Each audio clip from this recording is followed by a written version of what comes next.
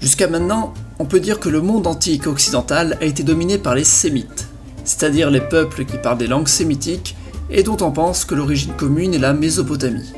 Les Hébreux, les Phéniciens, les Assyriens et les Babyloniens sont tous des sémites. Les Égyptiens les considère comme un peu à part mais fortement influencés par les sémites. Au contraire, plusieurs peuples étrangers à cette culture se sont bien développés depuis. Ce sont les Indo-Européens, qu'on appelle ainsi parce qu'ils se sont déplacés sur un territoire qui va de l'Europe à l'Inde. On les appelle aussi, même si le terme est désuet, les Ariens.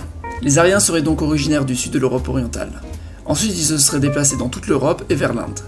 Mais plus que des déplacements de population, on pense que c'est des influences linguistiques qui se sont déplacées. En bref, les Grecs, c'est des Indo-Européens, et ils sont bien présents en Méditerranée.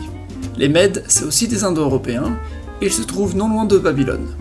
D'autres sont allés encore plus loin, les Sanskrites jusqu'en Inde. Mais en Grèce, il y a plusieurs cités-États et des rivalités vont se développer entre elles. Regardons quelles sont les principales cités vers l'an 700.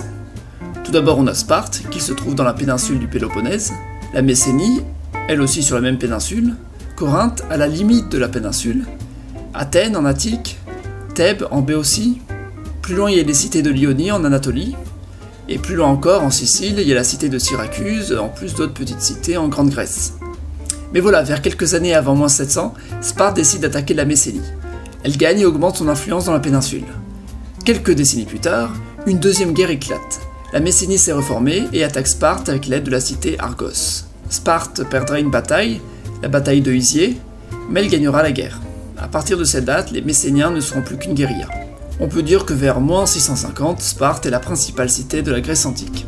Et Athènes? Athènes de son côté subira deux révolutions. D'abord en moins 683 avec la chute de la monarchie, puis ensuite en moins 621, Dracon met en place ses nouvelles lois. Très précises et très strictes, on dit qu'elles sont draconiennes. Sinon, il y a un autre événement important en Grèce, c'est la guerre Lélantine. Cette guerre a commencé vers moins 710 et s'est terminée vers moins 650. Elle a donc duré plus d'un demi-siècle. On ne sait pas trop si cette guerre a vraiment eu lieu, ni vraiment pourquoi elle aurait eu lieu. Mais on pense que c'est dû à un problème de terre, ce qu'on pourrait appeler la sténocoria, et qui concerne toute la Grèce antique.